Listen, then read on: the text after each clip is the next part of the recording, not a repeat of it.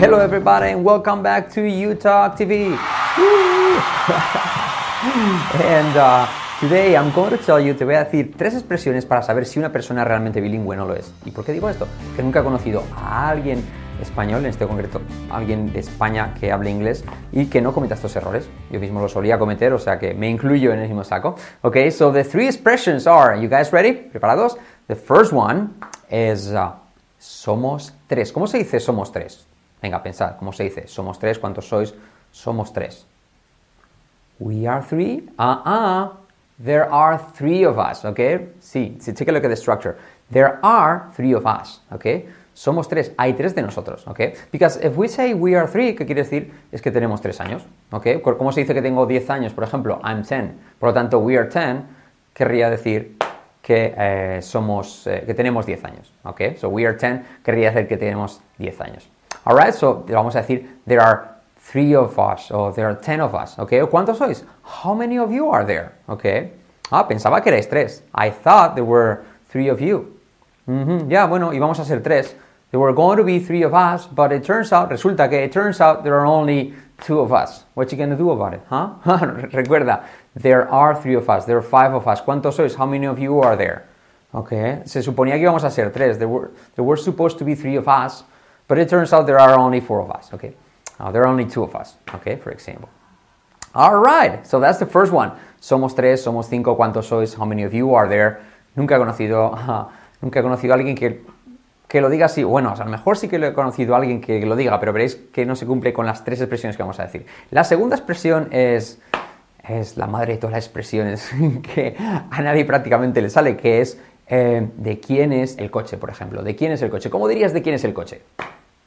A ver, ¿cómo? Whose is the car? Who is the car for? No. No. Whose car is it? Whose car is it? Recuerda la, recuerda la estructura de qué color es, que la hemos aprendido todos en la escuela primaria, en secundaria, en la universidad y nunca se usa. Ya veo que eso es azul. ¿Para qué vas a preguntar de qué color es? Pues sí, what color is it? Todos los españoles sabemos decir what color is it. Igual en vez de what color is it decimos what color is it, pero lo sabemos decir, alright? Pues esa misma estructura es de quién es el coche, whose car is it, de quién es el boli, whose pen is it, de quién es aquella moto, whose motorcycle is that, ¿ok? De quién son aquellos coches, whose cars are those, ¿ok? Eh, ¿de quién es ese, de quién es ese teléfono?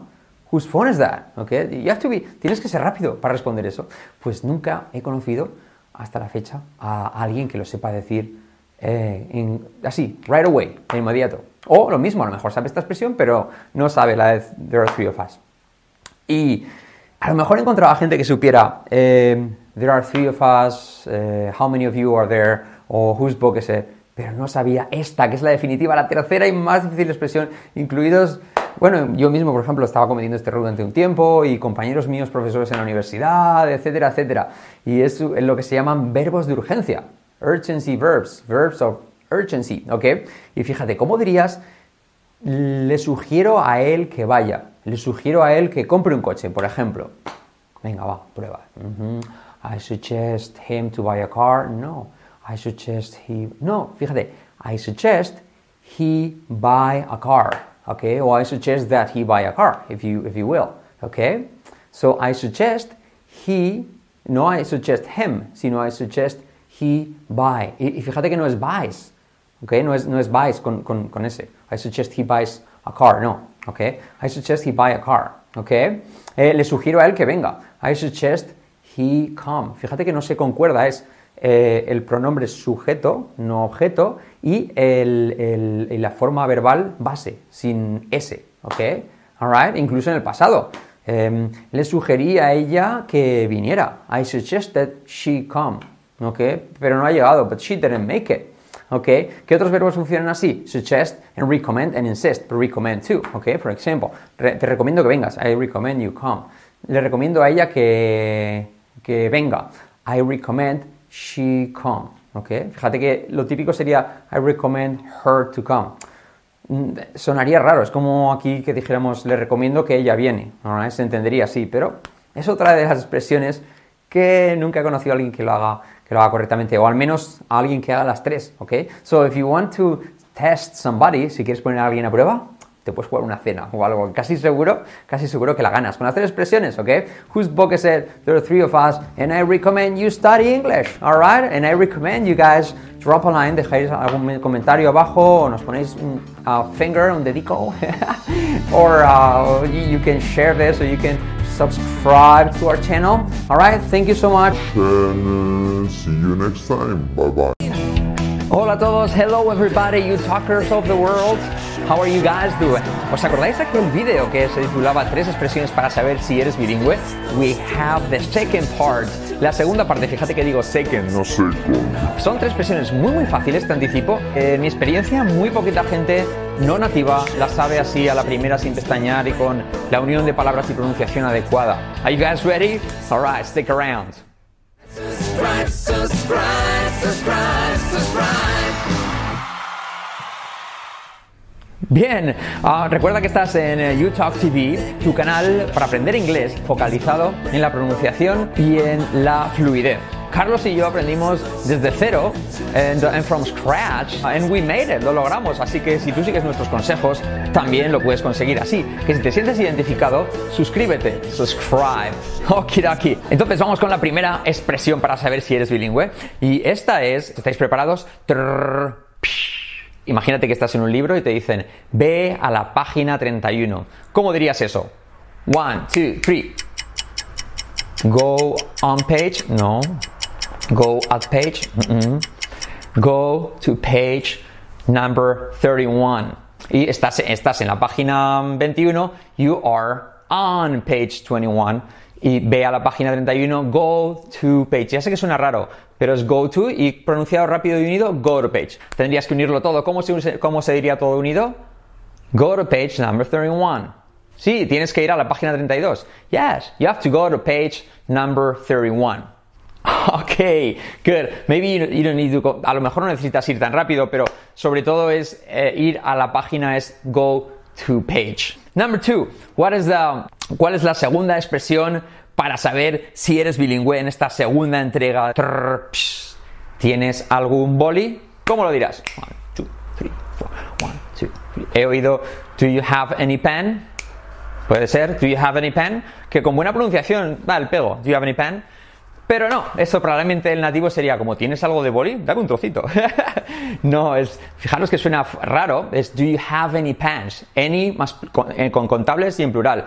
Nos influye el español porque es tienes algún boli, suena singular, pero es como si fuera en español tienes algunos bolis. Alright, any con contables siempre es any más plural. Si tenéis duda de esto, dejar comentario que os explicaré más cosas, porque sería desarrollar contables e incontables, que es, es un poco es un poco de ¿vale? So, bottom line, como se dice en resumen, lo más importante, the bottom line. ¿Tienes algún boli? Do you have any pants? Y ya con pronunciación y entonación, hey, do you have any pants? Do you have any pants? Alright, very good. Recuerda que si Carlos y yo lo conseguimos, también tú lo puedes conseguir. Sí, no, we're not the real thing, somos imitación, pero bueno, más o menos damos el pego a base de fijarnos en estas cosas. Bien, algunas variaciones. No tengo ningún boli. ¿Cómo dirías no tengo ningún boli? Mm I don't have, I don't have any pen. No, I don't have any pants. Si lo unes todo, la D se convierte en una R suave y un nativo diría I don't have any pants. I'm sorry, I don't have any pants. Como I don't want a lover. Iron, Iron, Iron. Como la, en español decimos, este tío ha corrido la Iron Man, Iron, eso es, Iron, I don't have any pants. No tengo ningún boli. I don't have any pants. Fijaros que en, en español suena singular, en inglés es plural. A mí me chocó mucho en mi época en Estados Unidos. Decía, Do you have any pants? Mm, me suena raro, I don't have any pants. Pero sí, sí, that's the real thing. Muy curioso, muy curioso esta, a ver si la sabéis. Fijaros, aquí vais a ver muy bien lo a lo que me estoy refiriendo. Estas dos frases, ¿vale? Una, ¿cómo traducirías al inglés? ¿Tienes algo de pollo? Oye, ¿tienes algo de pollo? Que tengo hambre. ¿Cómo será? Do you have any chicken? Ahí sí, do you have any chicken? Pero ahora imagínate que tú vas a un corral y te quieres llevar un pollito para casa y, y no ves ninguno de esos, ah, ninguna de esas aves de corral y preguntas, oye, ¿Tienes algún pollo? ¿Cómo preguntarías eso? Do you have any chickens? Do you have any chickens? Hey, do you have any chickens? Do you have any chicken? I'm hungry.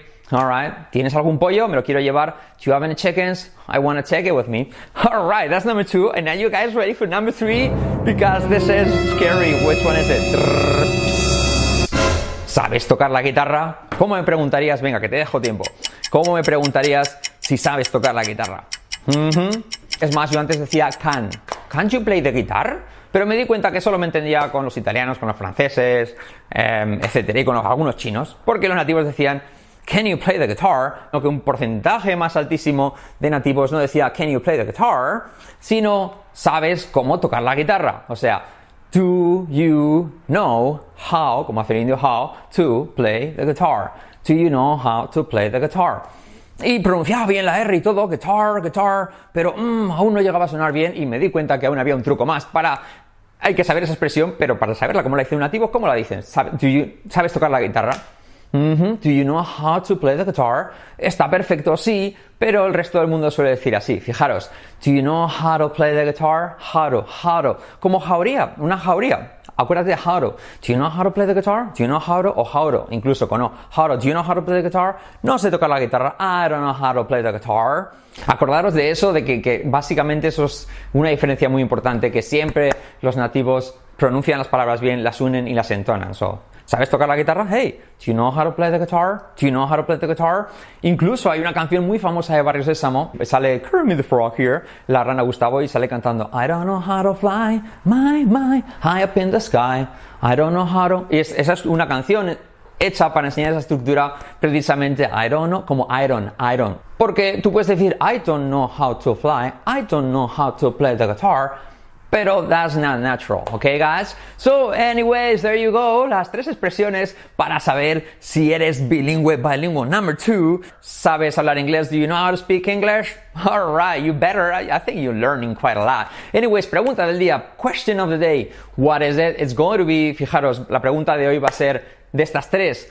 ¿Cuántas te has sabido? O si te has sabido las tres, pero a lo mejor has fallado más en, en- en los trucos que hemos dado de, de- unión de palabras, de convertir la T como una R, etcétera. ¿Tienes alguna duda? Dínoslas, pero sobre todo dinos de las tres, qué es lo, cómo te ha salido, si has, si has, salido, has sabido equivalentes, o si te han salido así right away, just uh, um, de volada, ok, como dicen por ahí en México, de volada, creo que decían así. Um, so, suscríbete, uh, give like, comparte estos vídeos, sobre todo este o otros, en tu WhatsApp, que eso nos funciona súper, súper bien. Y dale la tarjetita y compra uno de nuestros libros a un 25% de descuento. Por supuesto, recuerda, ya casi, casi, casi tenemos nuestro YouTube TV Plus. Por 9.90 vas a tener todos los libros de YouTalk en versión vídeo, como unas 300 horas de grabación en streaming como Netflix, con resolución de dudas y una masterclass semanal para todos vosotros. Thank you so much. See you next time. Take care. Bye bye. No te pierdas nuestros nuevos vídeos. Dale a la campanita y si te ha gustado este vídeo, por favor, danos un me gusta. Come on, dude, don't be a fool. Just go ahead and make that move. Hello everybody, volvemos a la carga con tres expresiones para saber si eres bilingüe. En este caso van a ser tres expresiones muy muy sencillas, pero que solo los verdaderamente bilingües, ni siquiera los nativos, solo los verdaderamente bilingües que dominen el español y el inglés al mismo nivel, vais a conseguir saberlas así, on the fly, de volada, al momento. Are you guys ready? Alright, see you in a minute. Subscribe, subscribe,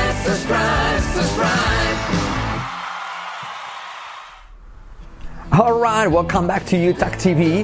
Ah, por cierto, por cierto, ya tenemos en funcionamiento nuestro UTAC TV Plus, que es ni más ni menos que vídeos de todos nuestros libros desde cero hasta nivel bilingüe y ah, va a ser hasta unas 300 horas de duración, todo por entregas, ya está en pleno funcionamiento. Ya tienes ahí todos nuestros vídeos con resolución de dudas y una masterclass en directo semanal con nosotros, con Carlos o conmigo. Para celebrar esto te vamos a dar un mes gratis de, gratis de prueba, como en HBO, como en HBO, como en Netflix. Un mes de prueba sin compromiso. Solo tienes que hacer lo siguiente: darle a la tarjetita www.hablaringlés.online y poner este código que es mes gratis mes gratis. Tres expresiones para saber si, es, si eres bilingüe. Esta, es- esta es la tercera, nuestra tercera entrega. Y en este caso vamos a, vamos a hacer tres expresiones que son muy, muy, muy fáciles, tanto en español como en inglés, pero que lo difícil es hacer la conexión, to make the connection entre la expresión en español y la expresión en inglés. Y vais a ver que tanto la expresión en español como la expresión en inglés se usan muy comúnmente, son muy fáciles, pero generalmente lo que decimos nos cuesta ir de una a otra. Y por eso ya te digo que esto simplemente los puros bilingües vais a poder hacerlo, ni siquiera un nativo porque probablemente el nativo le falta como base la expresión en español.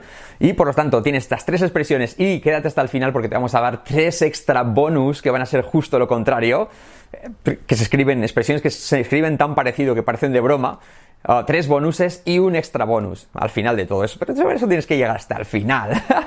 Alright, very cool. So, ¿cuál es la primera expresión para saber si eres bilingüe en esta tercera entrega? La primera expresión es ni más ni menos que menos mal. ¿Cómo dices, por ejemplo, menos mal en español? Ya sabes, oh, menos mal que has venido, menos mal que estás aquí, menos mal que lo has traído. How do you say that? Y no es thank God, que muchos más llamáis a decir, oh, thank God you came. Sí es una de esas, pero esa no es la que ando buscando. ¿Cómo se dice menos mal en inglés? It's a good thing. Es una buena cosa. It's a good thing. Fíjate que la traducción literal de it's a good thing en menos mal no tiene nada que ver y esa es la verdadera complicación. Por lo tanto, ¿cómo se dice menos mal? It's a good thing. It's a good thing. ¿Cómo lo usaríamos? Vamos a daros unas cuantas frases. Menos mal que has venido. No tenía mis llaves. It's a good thing you came. I didn't have my keys. I didn't have the keys. I didn't have my keys on me. It's a good thing you came. Muy bien, very good. Repite conmigo. It's a good thing. It's a good thing. Nada de good, sino good. Good. It's a. Nada de it, sino it's. Todo junto. It's a. It's a. It's a. Leguindas al pavo. Al pavo. Que decimos en España. It's a. It's a good thing. Nada de thing, sino thing. It's a good thing. Y luego ya lo que quieras. It's a good thing you came. It's a good thing que estés aquí. You're here. It's a good thing that uh, you can speak English. Ok, very cool. So, segunda, esa es la primera segunda expresión para saber si eres bilingüe en esta tercera edición de, um, tres expresiones para saber si eres bilingüe, que es, ¿cómo se dice? Es curioso. Es curioso. Y ya seré que me vais a decir, it's curious. Y me diréis, pues muchos aquí en Estados Unidos dicen, it's curious. Vale. Pero ¿cuál es la forma mmm, generalmente que muchos nativos usan y que a nosotros se nos escapa? It's funny. It's funny, como es gracioso. Como la canción de Elton John, It's a little bit funny. That feeling inside. Y fijaros que dice that feeling. Para, lo que me, para los que me decís, hay que hacer una I. No, that fee es así, pero la siguiente feeling inside. It's a little bit funny. That feeling inside. I love that song. It's awesome song. Um, es curioso, él no está aquí los, bien, los miércoles. Hmm. Y normalmente va precedido de, hmm, it's funny. He's not here on Wednesdays. He's not usually here on Wednesdays. O es curioso, no le gusta cantar. It's funny, he doesn't like to sing.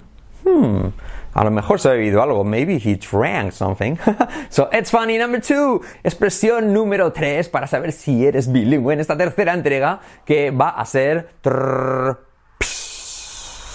viene bien. Algo que es útil, algo que viene bien. Por ejemplo, viene bien saber inglés si vas a Inglaterra. ¿Cómo se dice viene bien?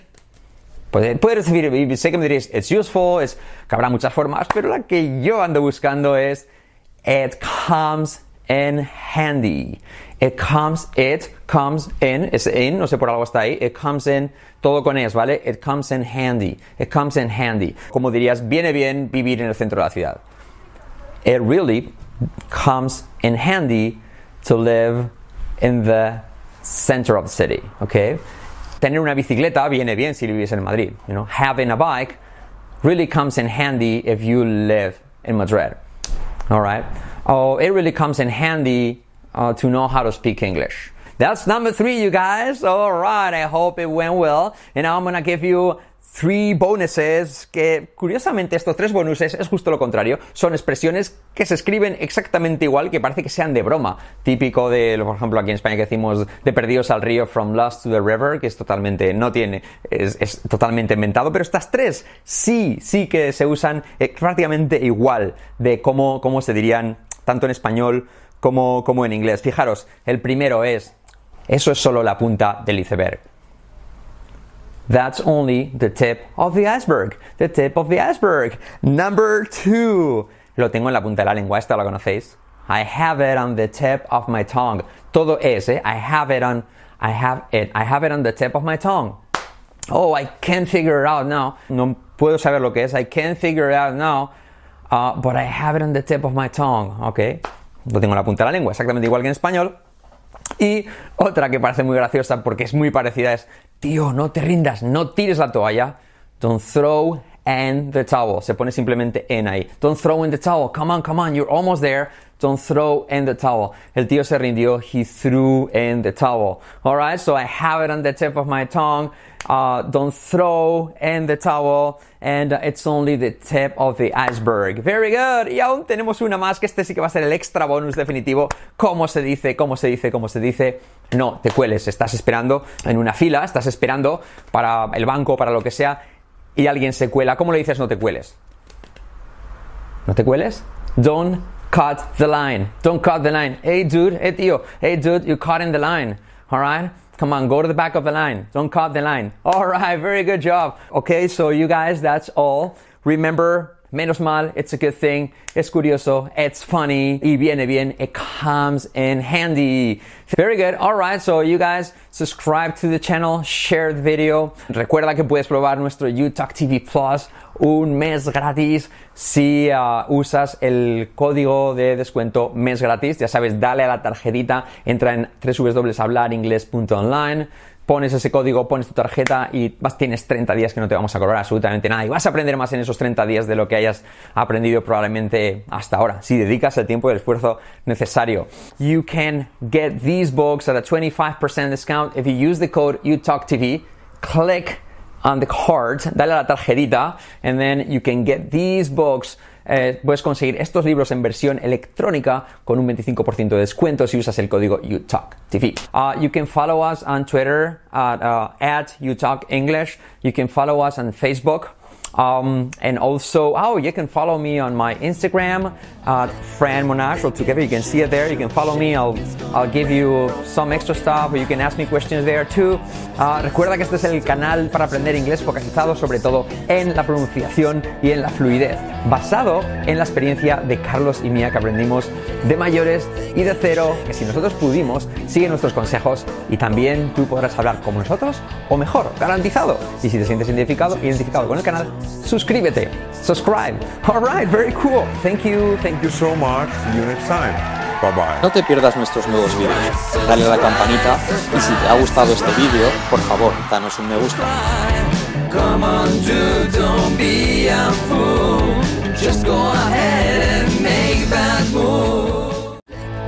Hello everybody, tenemos una nueva edición de tres expresiones para saber si eres bilingüe. Cuarta parte. Are you guys ready? See you in a minute.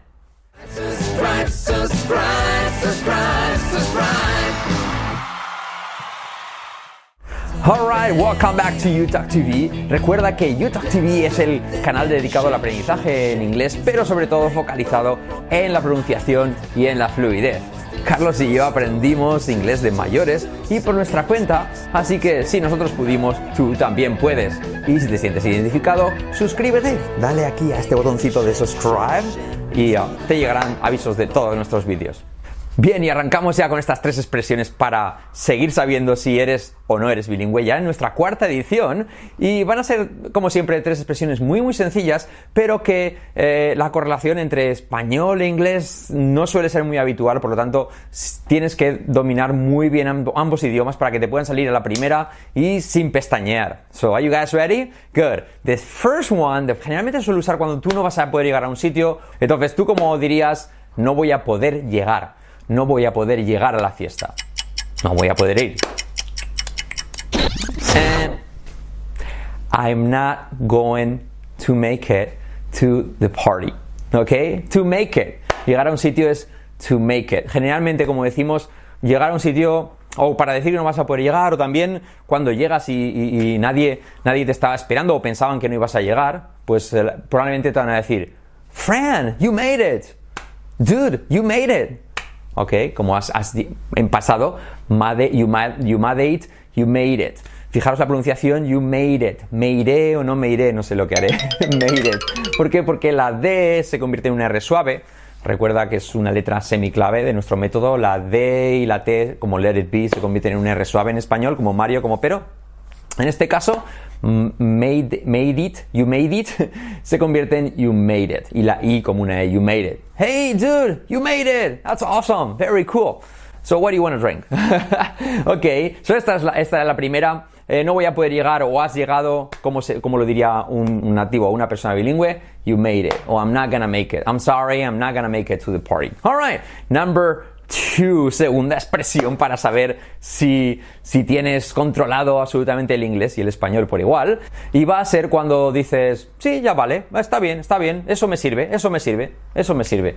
Fíjate que, por ejemplo, tú eh, necesitas 5 eh, dólares o 5 euros. Um, y los pides a alguien um, y, esa persona te dice, oh, I'm sorry, I just have, I just have four bucks, cuatro pavos. Y tú dices, oh, that's fine, eso sirve, está bien.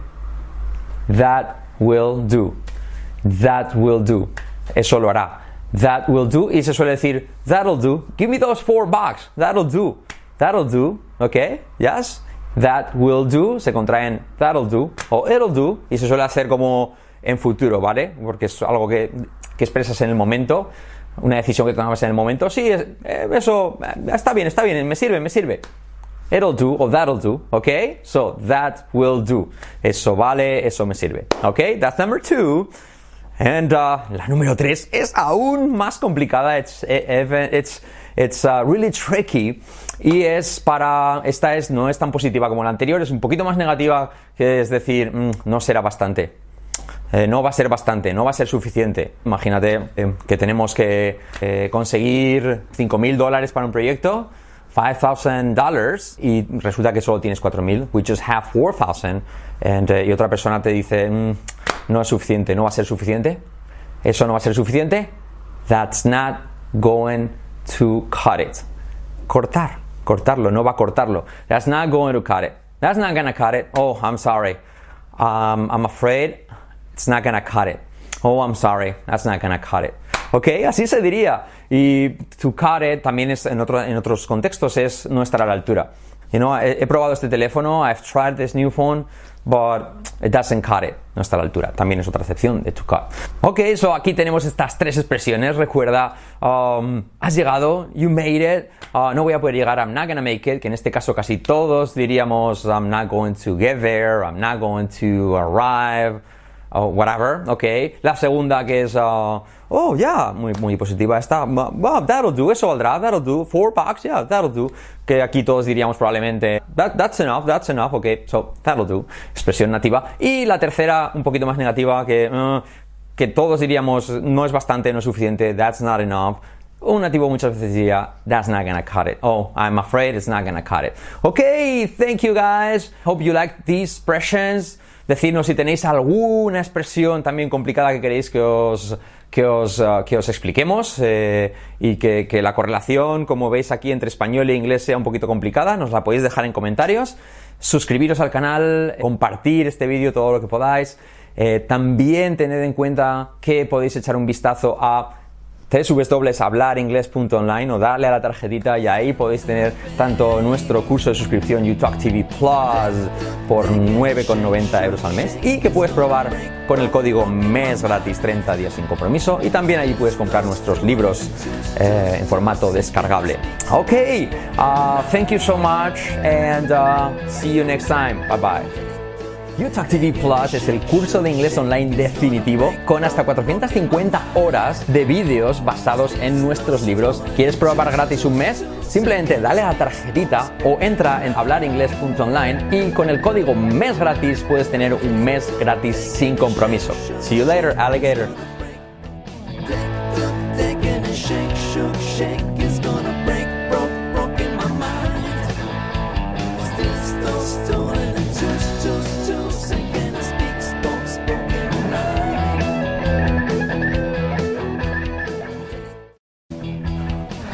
Everybody, welcome back to UTalk TV.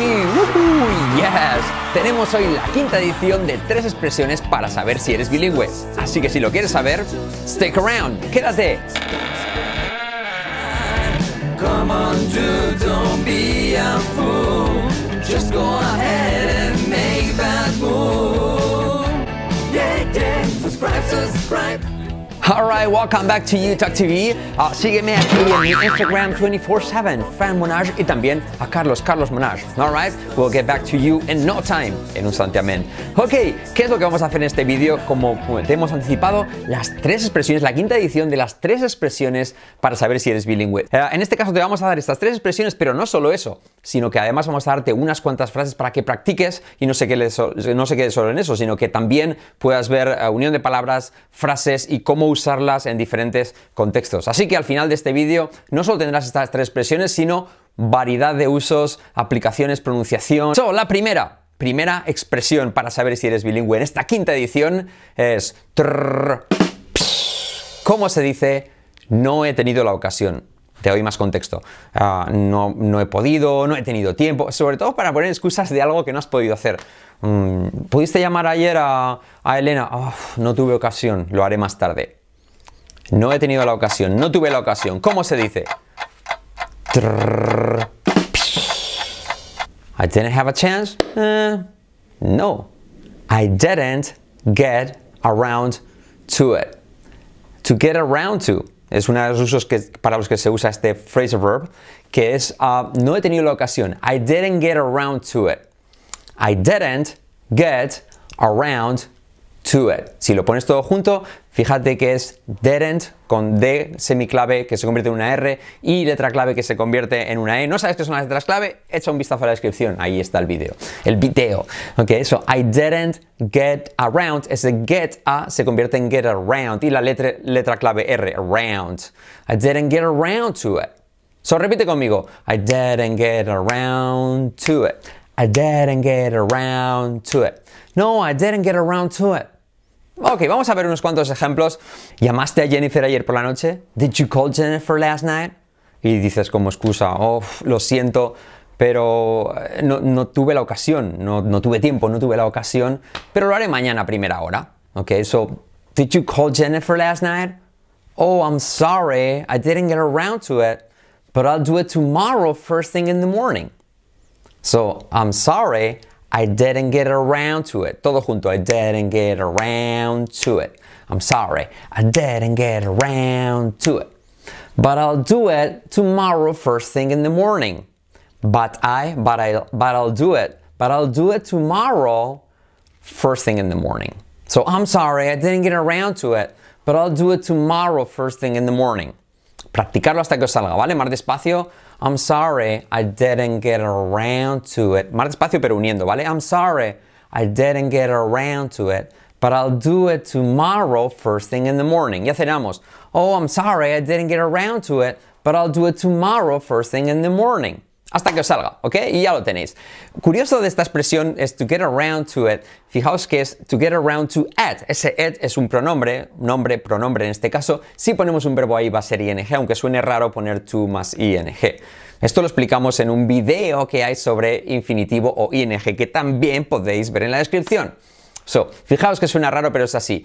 Eh, no he tenido la ocasión de hacerlo. I didn't get around to doing it. See? I didn't get around to doing it. Oh, I'm sorry, I didn't get around to doing it. No he tenido la ocasión de llamarla o de llamarle a ella. I didn't get around to calling her. I didn't get around to calling her. Podemos saltar la H. Oh, I'm sorry, I didn't get around to calling her. I didn't get around to calling her. Incluso el to se puede hacer como una, como una eh, R suave. I didn't get around to calling. I didn't get around to calling. I didn't get around to calling. I'm sorry, I didn't get around to calling her. Ok, very cool.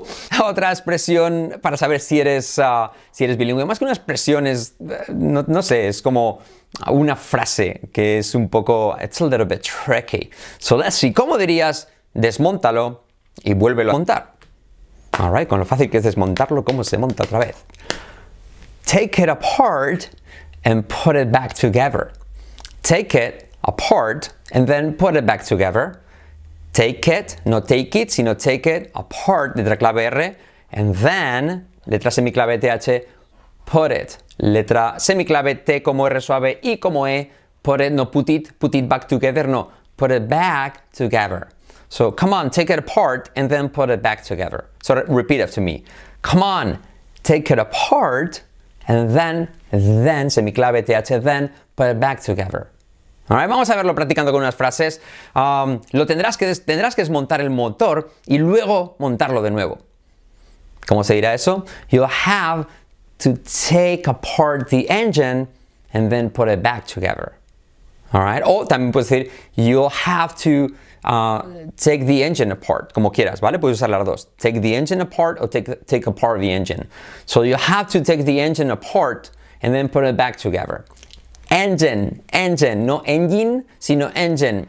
Ah, con letra clave G, June, July, Jacket, engine. Y letra clave I como engine, engine. Que lo engine, que está montando jaleo, engine. so, so you have to take apart the engine and then put it back together.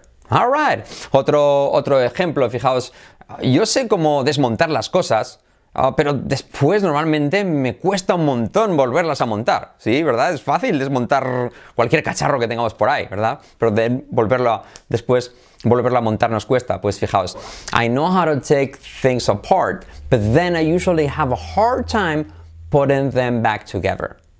Otra vez, I know how to take things apart, but then I usually have a hard time putting, putting them back together. Putting them. Putting them se puede contraer en putting them. Con la TH nos la saltamos. Como comerse la H, también podemos comernos a la TH. Putting them back together. Alright? So, I know how to take things apart. Repite conmigo. I know how to take things apart.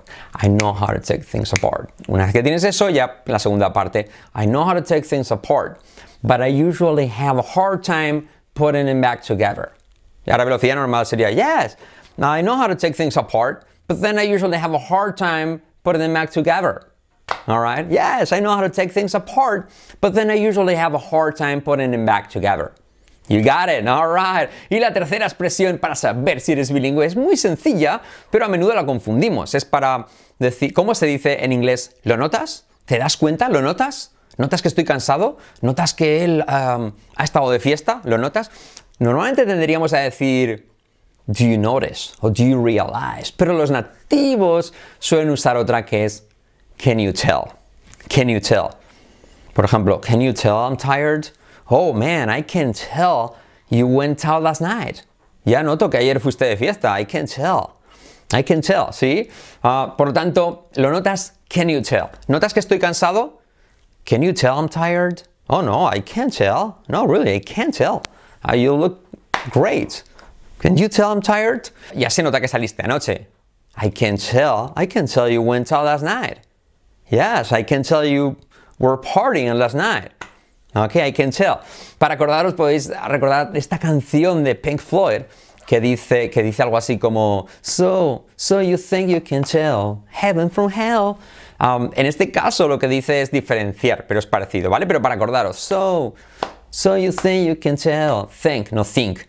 So, so you think you can tell, tan, tan, heaven from hell, blue skies from pain. ¿La reconocéis esa canción? So you think you can tell. Acordaros, so you think you can tell. Can you tell? All right, I can tell you guys are studying a lot of English and practicing and improving. ¿Por qué? Porque estáis siguiendo eh, nuestras letras clave, nuestra unión de palabras, todos nuestros consejos y sobre todo la motivación que nos hace más inteligentes, más constantes y más receptivos al aprendizaje. Ok, thank you so much. Acordaros de seguirme en Instagram a Fran Monage y también a Carlos como Carlos Monage y suscribiros a este curso que es YouTube TV Plus, que ya tenemos más de 700 suscriptores y está siendo todo un éxito. Por 19,90 euros al mes. Si tenéis dudas, preguntad o dejad un comentario. Ah, por cierto, ¿cuántas habéis aceptado? Dejad comentario. Una de tres, dos de tres, tres de tres, lo que sea. Dejad comentario abajo y subscribe, subscribe, you're not gonna die. Subscribe, subscribe, and it won't make you cry. Suscríbete a You Talk TV. All right, it's painless, it's fast, and it's awesome. All right, thank you so much, guys, and I'll see you in the next video. Bye bye.